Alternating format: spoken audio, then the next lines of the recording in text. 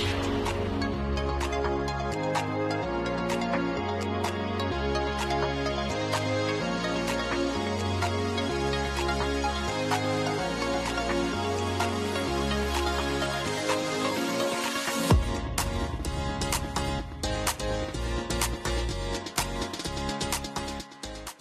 Hello guys welcome to my channel home beauty and craft tips friends अभी तक channel को subscribe नहीं किया है या चैनल पर पहली बार आए हैं तो जल्दी से मेरा चैनल सब्सक्राइब कर लें और बेल आ रही होगी, उसको भी पुश कर लें ताकि मेरी वीडियो की नोटिफिकेशन आपको सबसे पहले मिले।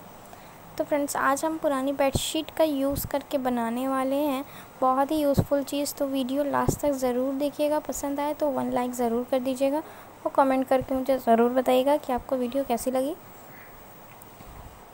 तो यहाँ पे मैंने डबल फोल्डेड बेडशीट का यहाँ पे कपड़ा लिया हुआ है। ये देखिए इस तरीके से। और इसको मैं डबल करूँगी। डबल मैंने इसका कपड़ा रखा है।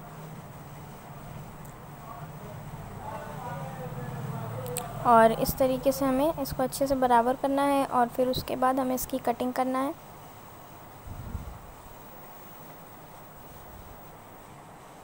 तो चौड़ाई और लंबाई मैं पहले आपको बता देती हूँ कितनी रहेगी। आप लंबाई जितनी भी चाहे रख सकते हैं, लेकिन मैं चौड़ाई बता देती हूँ किस तरीके से आपको रखनी है।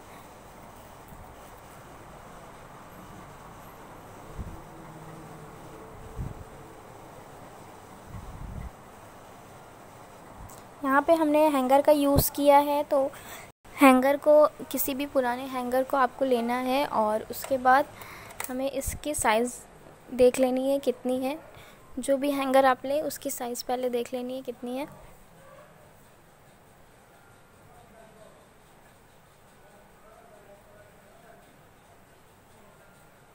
इस तरीके से इंच टेप से इसको देख लें।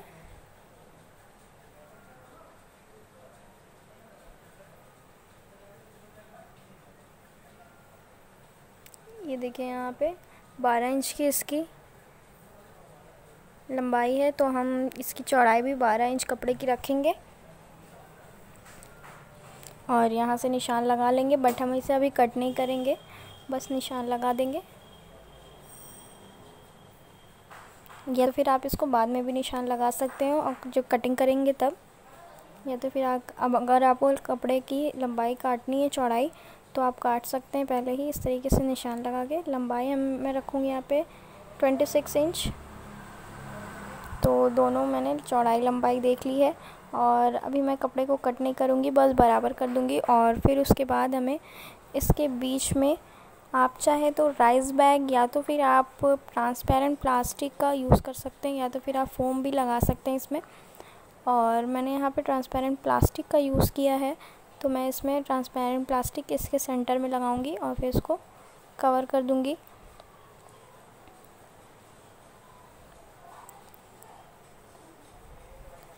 तो गाइस, यहाँ पे मैंने इसी साइज़ की, जिस साइज़ का मैंने हैंगर देखा था, उसी इंच टेप से नाप लिया था, उसी टाइप से हमें प्लास्टिक को कट करनी है और इस तरीके से बिल्कुल सेंटर में इसको रखना है और फिर इसकी स्टिचिंग कर देनी है।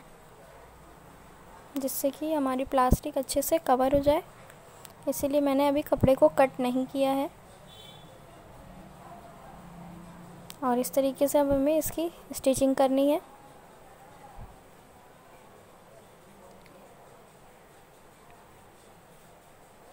ये देखिए, हम बराबरी से इसको अब लगा देंगे।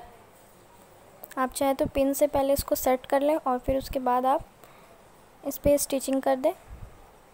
तो यहाँ पे मैंने इसकी स्टिचिंग कर दी है और अब हमें हैंगर लेना है और इसी के साइज़ की हमें कटिंग करनी है।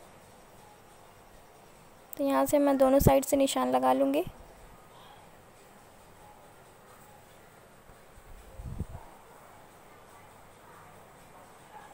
देखिए इस तरीके से और फिर उसके बाद हमें इसकी कटिंग करनी है।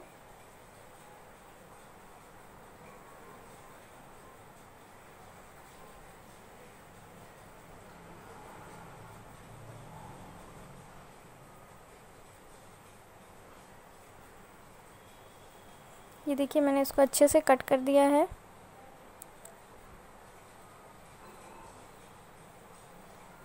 और अब हमें इसके साइड साइड में, दोनों साइड में हमें पाइपिंग लगानी है तो हम इसकी पाइपिंग कर लेंगे।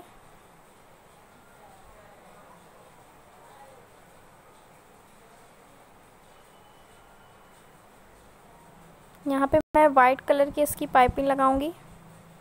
तो यहाँ पे मैंने एक पतली पट्टी ली है, और इस तरीके से वाइट कलर की, और यहाँ से हम इसे इस तरीके से स्टिच करके इसको पलट देंगे। जिस तरीके से आप पाइपिंग लगाते हैं, उसी तरीके से आप चौड़ी पाइपिंग इसकी कर सकते हैं। तो दोनों साइड से मैंने इस तरीके से पाइपिंग लगा दी है और अच्छी चौड़ी मैंने यहाँ पे पट्टी कट की थी, इसलिए इसको मैंने ज़्यादा थोड़ा चौड़ा कर दिया है पाइपिंग को और इस तरीके से ये हो गया है और साइड साइड में मैंने नहीं लगाई है। तो अब हमें हैंगर लेना है सिंपली और इसको यहाँ पे हमें रख कर यहाँ से आपको इसमें फ़ोल्ड कर देना है, जिससे कि ये, यहाँ से इसको कवर कर देना है और यहाँ से हमें नीचे की ओर रख कर इसकी स्टिचिंग कर देनी है।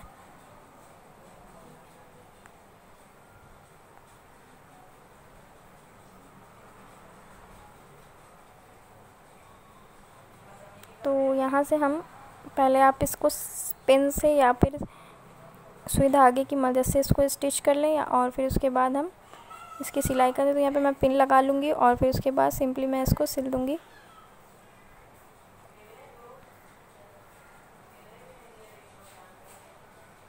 ये देखिए, मैंने इसको अच्छे से सिल दिया है। लगा दिया है पिन को और अब हम इसको सिल देंगे।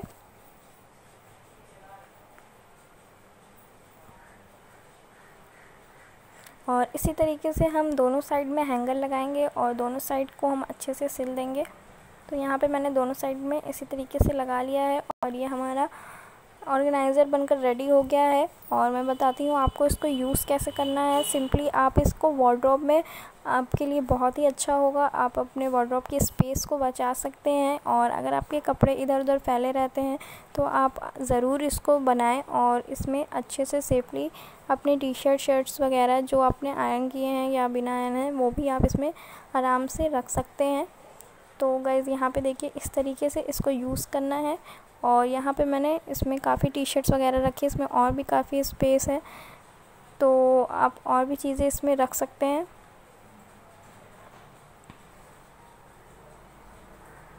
ये देखिए, इसमें मैंने काफ़ी जगह अभी और भी बची हुई है। आप इसको ओपन करके और भी रख सकते हैं। तो इस तरीके से बहुत ही इजी सिंपल सीधे तरीके से आप इसको बना सकते हैं। और काफ़ी स्पेस अपने वार्ड्रोप की बचा सकते हैं और इस तरीके से दो या तीन बनाकर आप हैंग कर देंगे तो आपके काफ़ी वार्ड्रोप में स्पेस हो जाएँगे, जिससे कि आप और भी कपड़े अपने सेट कर सकते हैं। तो गाइज़ आई होप कि आपको ये वाला वीडियो पसंद आया होगा और अगर पसंद आया होगा तो वन लाइक ज़रूर कर दीजिएगा और अभी तक मेरे चैनल को सब्सक्राइब नहीं किया है तो जल्दी से मेरा चैनल सब्सक्राइब कर लें। मैं मिलूँगी आपसे नेक्स्ट वीडियो में।